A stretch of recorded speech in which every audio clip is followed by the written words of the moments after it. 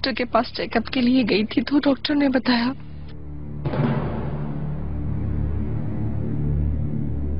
मैं तो बहुत डर गई थी, बिल्कुल। एकदम तना हो गई थी मैं। फ़ौरन आपके पास आई थी। मगर आपने बताया, आप तलाक देना चाहते हैं मुझे।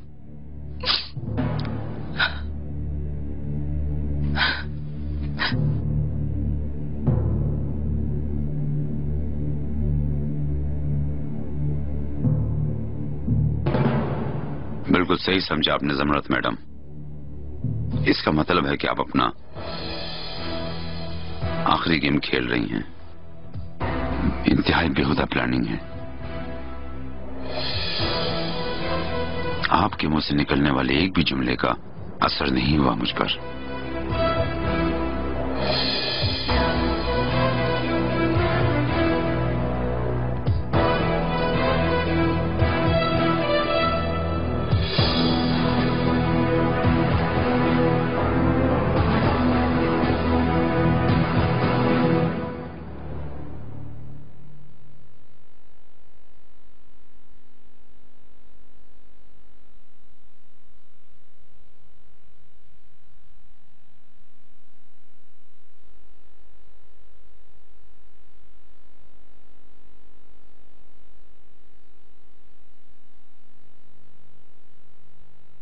Johnson thank you very much हर चीज़ के लिए। तुमने मुझसे प्रॉमिस किया है कि अब तुम सिर्फ़ आराम करोगी। आज रात अच्छी तरह आराम करो फिर कल क्या करना है ये बाद में बताऊँगा। ठीक है? ओके कैप्टन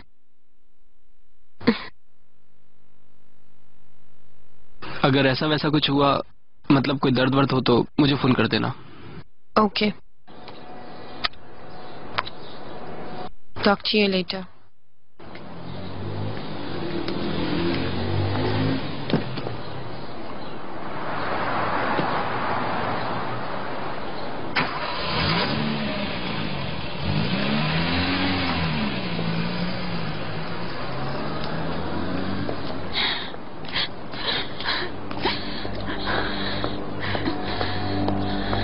आईजे क्या हुआ?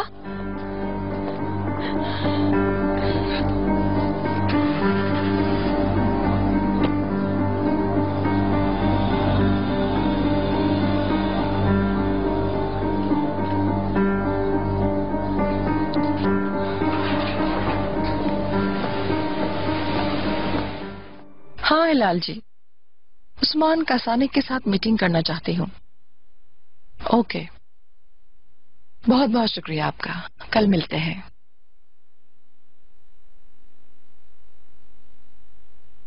हाँ मिस्टर नजीब ये मेरा नाटक है या नहीं तुम देख लोगे।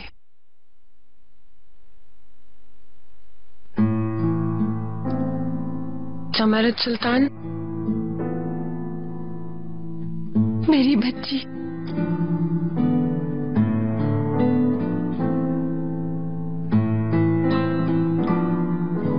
बस करें। आए यहाँ बैठे। आए।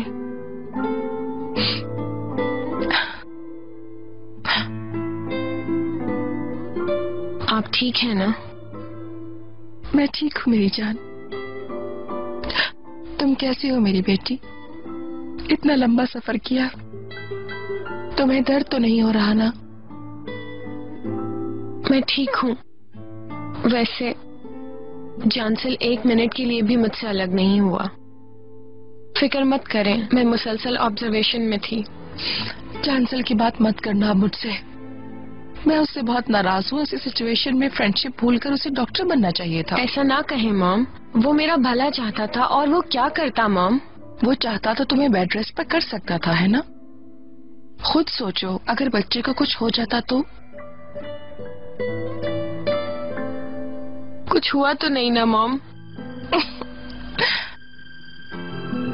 अब मेरी बातें छोड़ें। अपनी बताएँ, क्या हो रहा है?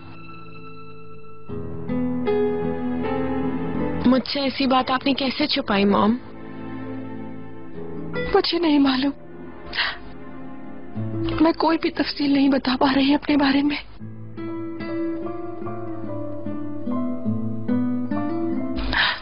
Okay, dear. और भी बहुत गम है तुम्हारे सर पर। छोड़ो सब, ओके? कहानियाँ छोड़ें। ऐसा हो सकता है क्या?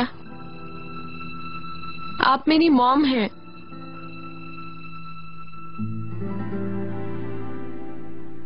इधर आए।